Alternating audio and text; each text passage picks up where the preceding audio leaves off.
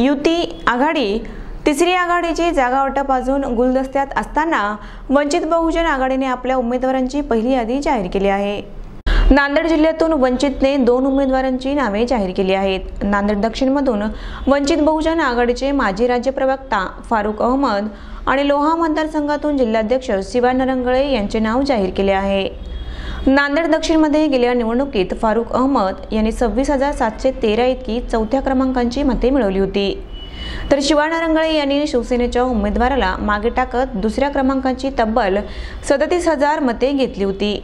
उमेदवारी जाहीर झाल्यानंतर फारुख अहमद यांनी नांदेड शहरात रॅली काढली. यावेळी डॉक्टर बाबासाहेब आंबेडकर यांच्या पुतळ्याला अभिवादन करण्यात आले.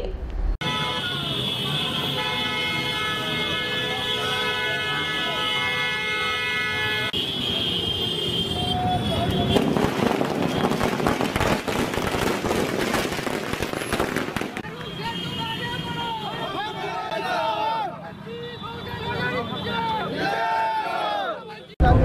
अलहमदुल्ला मी आदरणीय बाळासाहेब आंबेडकर यांचे मनापासून आभार व्यक्त करतो. वंचित बहुजन आघाडीचे सर्व ज्येष्ठ नेते प्रदेशाध्यक्ष रेखाताई ठाकूर राज्य कार्यकारिणी व समस्त महाराष्ट्रातल्या आणि नांदेड जिल्ह्यातल्या पदाधिकारी कार्यकर्त्यांचा पाठबळ आणि नांदेडच्या जनतेच्या प्रेमामुळं आदरणीय बाळासाहेबांनी पहिल्या टप्प्यात पहिल्या यादीमध्ये एक मुस्लिम समाजातून येणाऱ्या मायनॉरिटीचा उमेदवार जाहीर केला.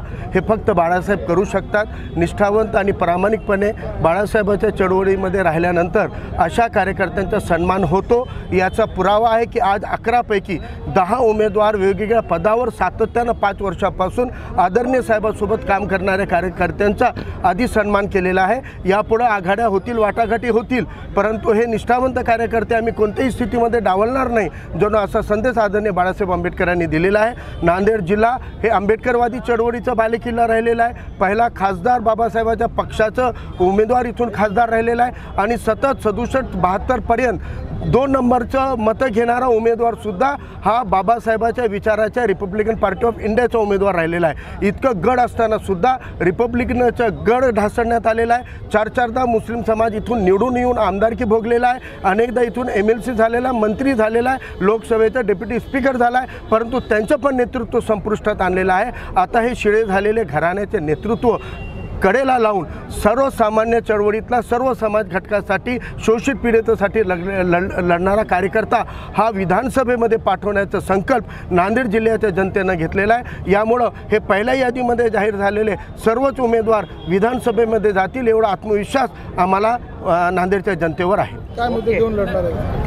नांदेडमध्ये खूप मोठं आहे की दोन नद्याच्या मध्ये वसलेलं नांदेड असून सुद्धा नियमित पाणी पुरवठा नाही. पाणीसाठी शेकडो हजारो टँकर लावावं लागतात. पहिला अजेंडा आहे गोदावरीचं शुद्धीकरण आणि गोदावरी नदीचं सुशोभीकरण आणि वॉटर स्टोरेजची कॅपॅसिटी वाढणे. विष्णुपुरीचा गाळ काढला तर आपल्या नांदेडला मुबलक पाणीसाठा मिळू शकतो शेतकऱ्यांना पाणी मिळू शकतो. अजून एक रिझर्वायर बनवण्याची गरज आहे. याशिवाय जे मागास घटक आहेत त्या मागास घटकांच्या वस्त्यांना पन्नास वर्षापासून कोणत्याही आमदारांनी निधी दिलेला नाही आहे मग मागास घटक schedule caste schedule tribe OBC minority वस्त्यांमध्ये जे पन्नास वर्षाचा अनुशेष राहिलेला आहे जे पन्नास वर्षाचा बॅकलॉग राहिलेला आहे निवडून आल्यावर पाच वर्षामध्ये ते बॅकलॉग प्राधान्यानं पूर्ण करणार. आणि सर्वसामान्य जनतेला पीडित शोषित कोणत्याही धर्मजातीचे असोत पीडितांची आवाज असेंब्लीमध्ये विधानसभेमध्ये बुलंद करणे हे एकमेव निर्धार करून आम्ही निवडणुकीच्या रिंगणात उतरलेले आहोत.